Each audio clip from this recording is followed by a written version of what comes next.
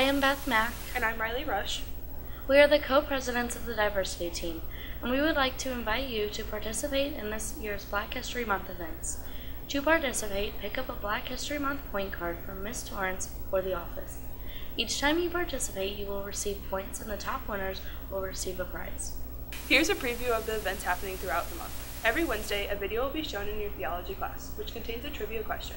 You'll have until 3 p.m. on Thursday to tell, the, tell Miss Torrance the correct answer to receive your point.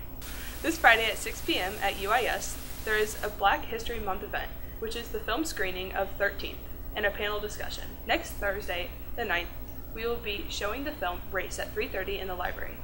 The evening of the 22nd, the SHG band presents a night at the Cotton Club. The week's events will be listed in the announcements, so be on the lookout for ways to earn points.